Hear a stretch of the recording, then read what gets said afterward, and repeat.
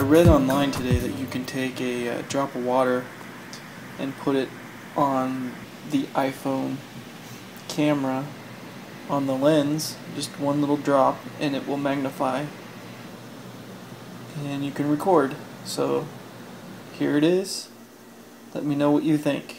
I think it's a pretty cool effect. Here's the pepper as it is, and here's the pepper magnified.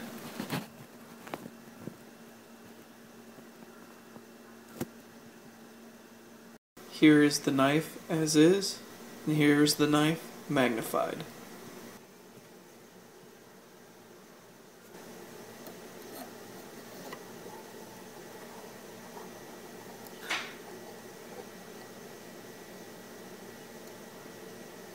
Here is the cookie, and here is a cookie magnified.